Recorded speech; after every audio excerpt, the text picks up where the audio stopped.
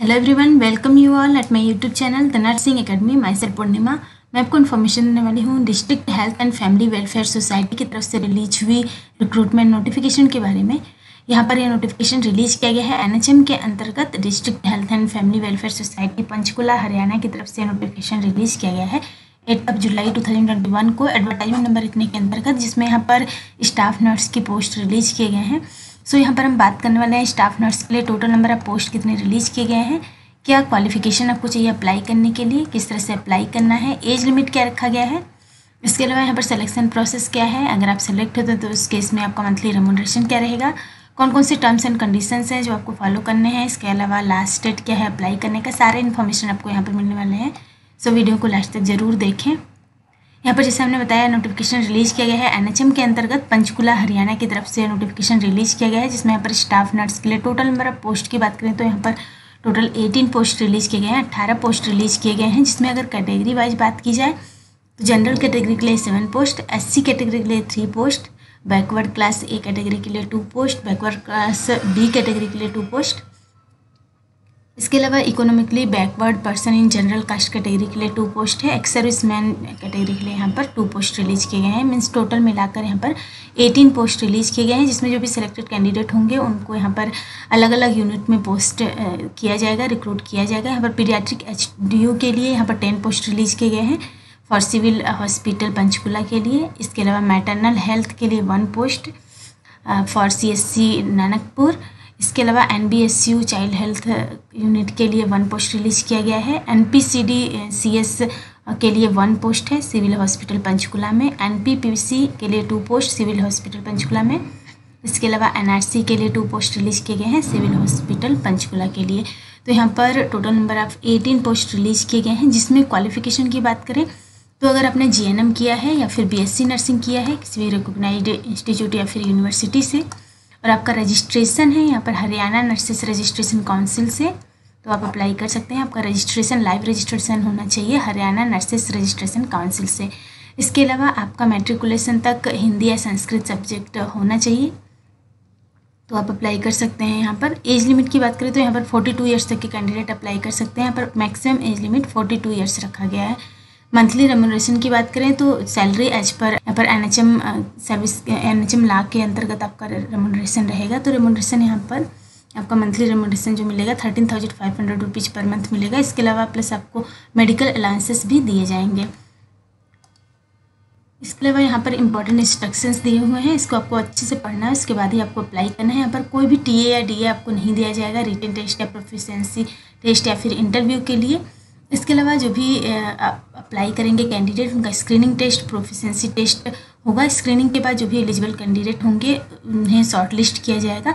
Short listed candidate को ही यहाँ पर कंप्यूटर टेस्ट के लिए कॉल किया जाएगा। फर्दर कॉल किया जाएगा इंटरव्यू के लिए या फिर जो भी प्रोसेस होगा उसके लिए। तो यहाँ पर शुरू शुरू में रिटर्न टेस्ट स्क्रीनिंग टेस्ट या फिर प्रोफिशेंसी टेस्ट जो होगा, उसमें आपका आईक्यू चेक किया जाएगा जनरल नॉलेज चेक किया जाएगा और जो भी इंफॉर्मेशन है अबाउट कंसर्न सब्जेक्ट चेक किया जाएगा। उसके बाद उसमें फोर्टी परसेंट मार्क्स अगर आपका आता है तो आप क्वालिफाइड माने जाएँगे। तो यहाँ पर फोर्टी परसेंट आपको स्क्रीनिंग टेस्ट या फिर प्रोफेसेंटेज टेस्ट जो भी होगा, उसमें लाना अनिवार्य है।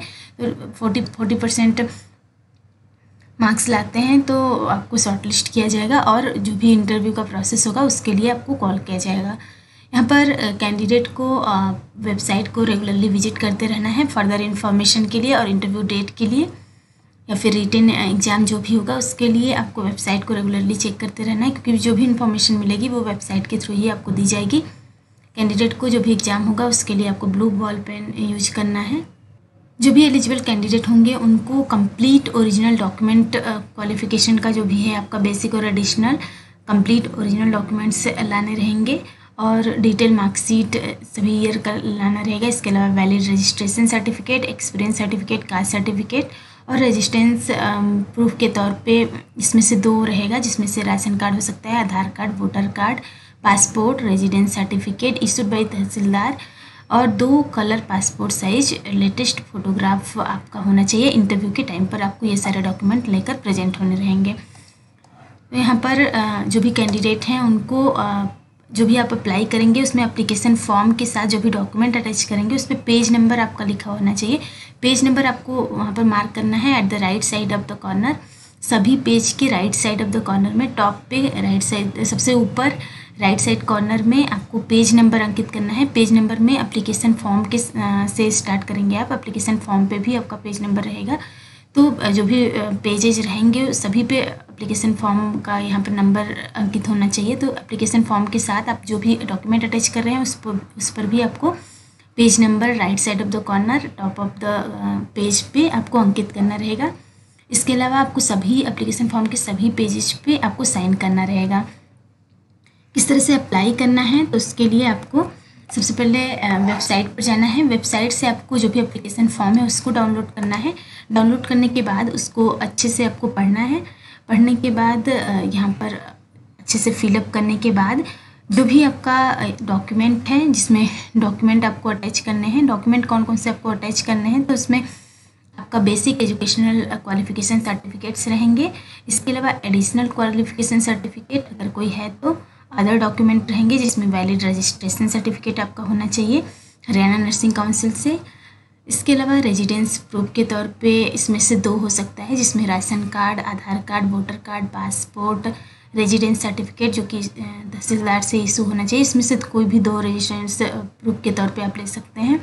इसके अलावा दो colour latest passport size photograph होना चाहिए। ये सारे डॉक्यूमेंट आपको एप्लीकेशन फॉर्म के साथ अटैच करने हैं। और यहाँ पर लास्ट डेट जो है अप्लाई करने का सिक्सटीन ऑफ़ जुलाई टू है। सो इससे पहले पहले आपको अप्लाई कर देना है। आपको यहाँ पर पोस्ट करना है। यहाँ पर जो भी एड्रेस दिया हुआ है, उस एड्रेस पर आपको पोस्ट करना है। रजिस्टर पोस्ट या फिर बाई हैंड भी आप सबमिट कर सकते हैं। यहाँ पर सिक्सटीन जुलाई शाम के चार बजे, यहाँ पर लास्ट डेट है। शाम के चार बजे से पहले पहले आपको यहाँ पर पोस्ट कर देना है। और यहाँ पर जो भी आपको एप्लीकेशन फॉर्म का फॉर्मेट है, वो यहाँ पर वेबसाइट के माध्यम से मिल जाएगी। और यहाँ पर लिस्ट जो भी एलिजिबल कैंडिडेट का होगा स्क्रीनिंग टेस्ट और रिटर्न टेस्ट प्रोफिशेंसी टेस्ट के लिए वो अपलोड किया जाएगा इसी वेबसाइट के माध्यम से। तो वेबसाइट का आपको रेगुलरली विज़िट करते रहना है। इसके अलावा यहाँ पर जो भी ये पोस्ट रिलीज़ किया गया है कॉन्ट्रेक्चुअल बेसिस पर रिलीज़ किया गया है। कॉन्ट्रेक्चुअल बेसिस पर यह पोस्ट रिलीज़ किया गया है, जिसमें जो भी सिलेक्टेड कैंडिडेट होंगे, उनको थर्टी फ़र्स्ट ऑफ़ मार्च 2022 तक के लिए इंगेज किया जाएगा। फिर जैसा भी रिक्वायरमेंट होगा, उसके बाद उस हिसाब से यहाँ पर जो पीरियड ऑफ़ इंगेजमेंट है एक्सटेंड किया जा सकता है। तो यहाँ पर शुरू शुरू में जो इंगेजमेंट आपका किया जाएगा, जो भी सिलेक्टेड कैंडिडेट होंगे, उनको thirty first of March two तक के लिए इंगेज किया जाएगा। सो जो भी इंटरेस्टेड कैंडिडेट है, वो यहाँ पर अप्लाई कर सकते हैं। डिटेल इन्फॉर्मेशन आपको वेबसाइट के माध्यम से भी मिल जाएगी। और यहाँ पर वेबसाइट का लिंक आपको डिस्क्रिप्शन बॉक्स में मिल जाएगा। अदर क्वेरी के लिए आप टेलीग्राम चैनल ज्वाइन कर सकते हैं। वीडियो अच्छा लगा हो तो लाइक करिए शेयर करिए और सब्सक्राइब करिए इस चैनल को। इसके अलावा बेल आइकन प्रेस कीजिए ताकि आने वाले वीडियोज़ के नोटिफिकेशंस आपको मिलते रहें। Thank you